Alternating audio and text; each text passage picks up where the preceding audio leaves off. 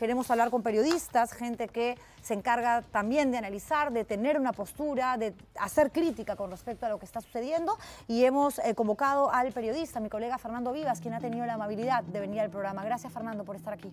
¿Cómo estás Julián? Encantado.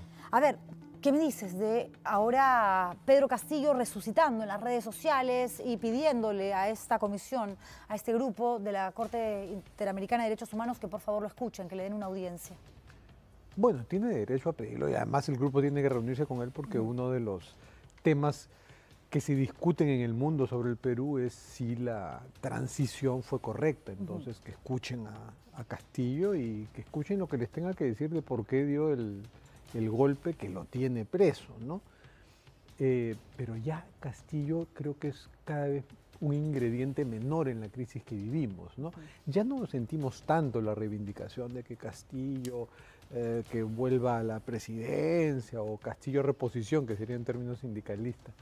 Eh, ya la crisis es mayor. Así es. Ya es el descontento total con la clase política, entonces quieren cerrar a la vez los dos poderes del, Así es. y, Estado. Y qué importante lo que dices, ¿no? Porque eh, se escucha a un grupo de gente arengando o repitiendo una consigna que tiene que ver con el cierre del Congreso. Algunos dicen, muy pocos, pero están allí, que queremos una nueva constitución y para eso necesitamos una asamblea constituyente, que básicamente es el pedido de la izquierda, que aprovecha ¿no? el ruido, el caos para meter de contrabando esta solicitud, que ahora mismo sería una locura, dada la coyuntura y la crisis. Sí, y no es popular la demanda. no es popular, totalmente de acuerdo, totalmente de acuerdo. Pero en lo que coincide la mayoría es Dina renuncia. Eso es lo que escuchamos, por lo menos a un decibel más alto que el resto de solicitudes. Dina renuncia y cierre Congreso, ¿no? Este, como que están empatados allí. Me gustaría ver próximas encuestas. Estamos como en un silencio de encuestas, pero en la próxima de repente la aceptación de Dina está tan baja como la del Congreso. En que Castillo, la del Congreso estaba más baja. Veremos cómo está Dina en relación al Congreso ahora. Igual, los dos deben estar por los suelos. El temperamento antipolítico popular es muy grande en las encuestas a nivel latinoamericano, el latinobarómetro, Perú es el que sale con mayor descontento respecto a la democracia. Entonces, eh, hay una compulsión popular por no creerle y por destruir a los políticos. Entonces ahora se ofrece la oportunidad de pedir a la vez que renuncie eh, la presidenta y que se cierre el Congreso. O sea, es el maximalismo, eh, el ya no ya, el non plus ultra. ¿Y lo conseguirán?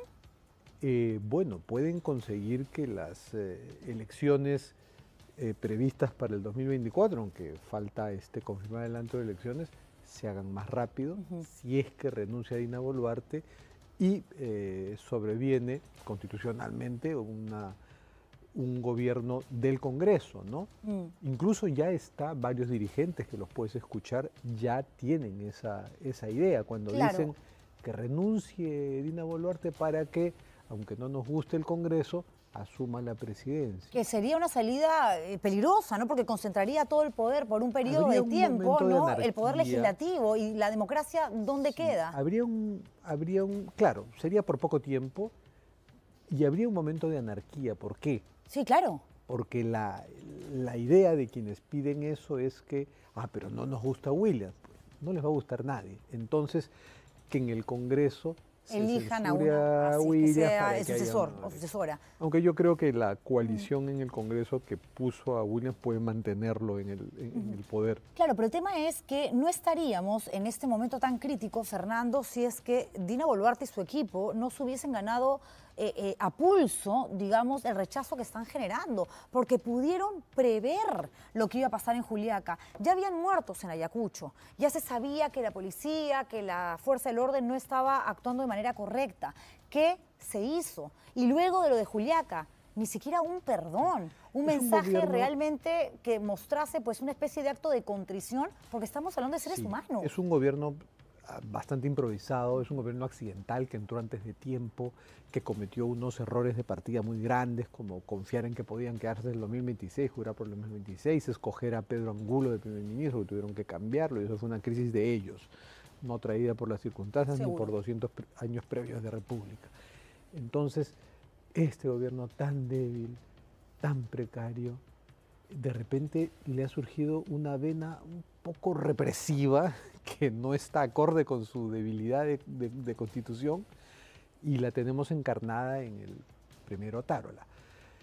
Quiso hacer un correctivo Dina Boluarte cuando algunos la convencieron de que como pago al costo político de las primeras muertes había que sacar a Otárola y al ministro del Interior. Sacó al ministro del Interior, pero le hizo un upgrade a Otárola y lo convirtió en primer ministro.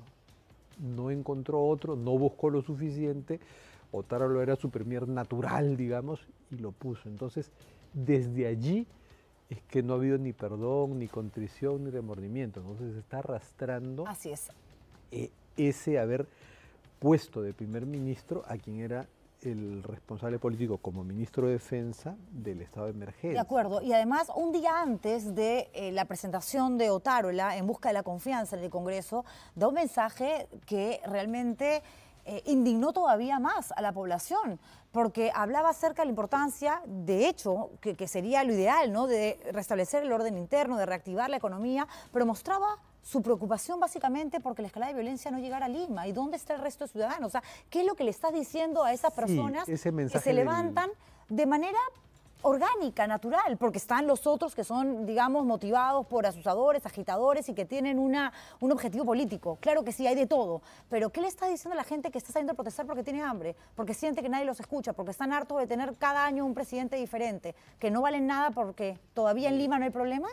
Ah, hubo una discriminación de la seguridad nacional. ¿no? no va a haber la sonada en, Lima. Sí, a mí me preocupó porque además, más que disuadirla, la estaba provocando. ¿La alimentas? Sí, pues, en condiciones así de crispación social, estados de emergencia y represiones pueden tener un efecto un efecto opuesto y eso es lo que estamos viviendo. O sea, tiene que haber cierta firmeza, mensajes de firmeza, está bien, autoridad, y algunas cosas no tienes por qué ceder, no conviene ceder, hay que respetar el orden, pero tiene que haber mensajes de serenidad, de disuasión, de persuasión. Y de eso solo hemos oído que la iglesia va a intervenir. Pero Dina Boluarte, así es, que Dios nos ayude, que Dina Boluarte, digamos, apostara en darle un cargo mayor todavía al que había sido ministro de Defensa y que debió asumir la responsabilidad política. Nadie está diciendo que se van a ir a la cárcel, pero políticamente estás hablando de un hecho que pasa por el gesto, ¿no? Por el mensaje que le das a la persona que está del otro lado. Y hasta ahora nadie asume, porque si han habido cambios en el gabinete recién ahora es porque han renunciado. El de trabajo se fue el de la mujer y el del interior ya era porque alguien bueno tiene que bajar un poquito la temperatura, que se vaya. Claro, ahí sí está el criterio de el costo político, no lo pagamos haciendo renunciar al interior. E hicieron renunciar al primero del interior, Así es. que lo hemos olvidado. Pero es suficiente esto que pasó en el gabinete para que... Lo que pasa es que se contradice con el upgrade de, este, de o sea, no podemos disfrazar eh, el ascenso de OTAN al primerato de un Totalmente el costo político porque lo sacaron de defensa. Y el Congreso de la República lo sabe. ¿Debió negarle entonces la confianza? El Congreso de la República me temo que está en su propia burbuja porque ahí hay algo que, que, este, permíteme señalarlo y subrayarlo con un plumón rojo. Negrita. El Congreso es un corresponsable de lo que está pasando porque no confirma el adelanto de elecciones. Si hay un consenso nacional, tú, yo, todos los manifestantes estamos de acuerdo en que hay que adelantar elecciones. Incluso el Congreso ya empeñó su palabra con una primera votación. Hasta la segunda legislatura. Exacto, y la segunda legislatura, según reglamento, empieza en marzo. Esto no da para marzo. Pueden adelantar la legislatura, es fácil. Lo decían ellos también, tienen siempre la pelota en la cancha. Pueden hacerlo y en febrero votar.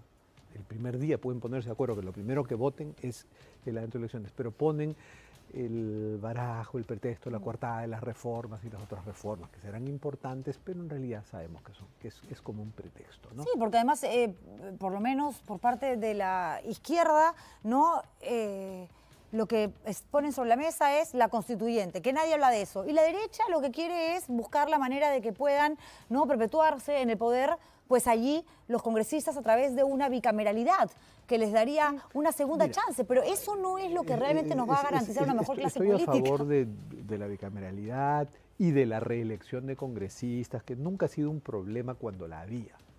Es impopular ahora, porque todo lo que sea contra la clase política vende, entonces no queremos verlos repetir. Eh, y también hay que, hay, hay, que corregirnos ese temperamento antipolítico porque estamos desanimando a que la gente eh, postule para presidente. Sí, pues. Todo esto está desanimando a posibles candidatos presidenciales. Entonces, ¿a quién vamos a elegir? Ese es el temor, ¿no? ¿Quién viene mañana? ¿Antauro en 2023? ¿Quién viene Antauro?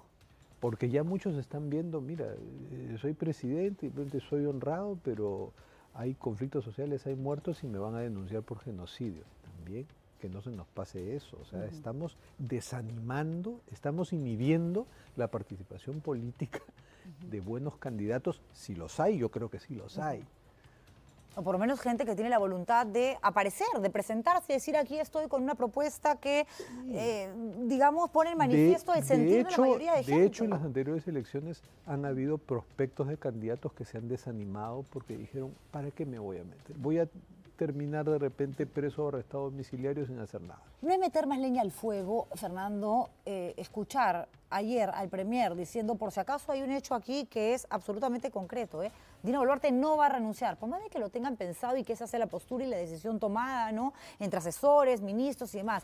Comunicarlo abiertamente no es justamente llevarle el mensaje a los protestantes diciendo, sigan ustedes quemando aeropuertos, sigan ustedes es la parte de bloqueando carreteras. Esa es la parte de firmeza, ¿no? Sí, tiene que haber algo de firmeza. El asunto es que hubiera sido mejor escuchar a ella. Ahora la hemos visto fugazmente de, blanco en la juramentación, pero necesitamos escucharla. Debe estar preparando un mensaje a la nación. Pero debe estar asustada también, ¿no? Asustada. Seguro. Ah, sí, pues no estaba preparada para esto, le ha quedado grande. Estamos en un gobierno de vices, ¿no? Todos los viceministros se convierten en ministros y una vicepresidenta se ha convertido en presidenta accidental. ¿Serviría de algo que salga a pedir perdón? No a lamentar, a pedir perdón. Es decir, como jefa de Estado, yo tengo que reconocer de una u otra manera que tengo responsabilidad. Siempre, siempre un perdón bilingüe en español y en, quechua, que afortunadamente lo sabe hablar y ese es un, buen gesto que ha pasado desapercibido. Este, sí, sí, y como mujer y como presidenta. Y sí, tiene que hacerlo de, muchas formas. Eh, necesitamos escucharla y afirmar si es que se quiere realmente quedar en el poder, en qué condiciones. Yo creo que tiene que convencer al Congreso que le ayude, adelantando la legislatura, la segunda legislatura, para votar el adelanto de elecciones e inmediatamente permitirle hacer un mensaje que sí queremos oír, a ella convocando las elecciones. Así es, ojalá que eso suceda, por el bien de todos, por el bien del país. Suceda lo más pronto posible. Pero si eso no pasa, y esta es la última pregunta, Fernando, me gana el tiempo, ¿qué va a pasar con el Perú? ¿Qué crees? Ah, seguimos en un nuevo capítulo de la crisis. Nuestra crisis este, está por capítulos y... Es una saga de nunca acabar. Estamos en el capítulo DINA, este, un capítulo previsto que acabe en el 2024, pero que puede acabar antes. Dios nos coja confesados, como dice el dicho. Fernando, qué triste, qué triste estar hablando de una situación así en medio de un año pues que recién empieza, donde habían tantas expectativas, luego de haber pasado por una pandemia que nos golpeó tanto, donde se han generado tantos problemas para la gente común y corriente, para la sociedad civil, para, para ti, para mí, para los chicos, para la gente que nos está viendo, y ahora tener que atravesar ¿no? por, por, por este capítulo tan violento, donde repito, y estoy segura que tú coincides, ¿no? Hay, hay muertos, hay muertos a los que ya nadie los va a revivir y hay deudos y hay familias que los siguen llorando y a los que nadie les está pidiendo perdón. No, no se merecían esto. Así es. No nos merecemos lo que está pasando. Ni el policía ni los civiles que han muerto, porque ninguna vida vale más que otra. Ni los que estamos observando lo que Ni lo que estamos viendo, exactamente. Gracias, Fernando. Un placer tenerte en el programa. A ti.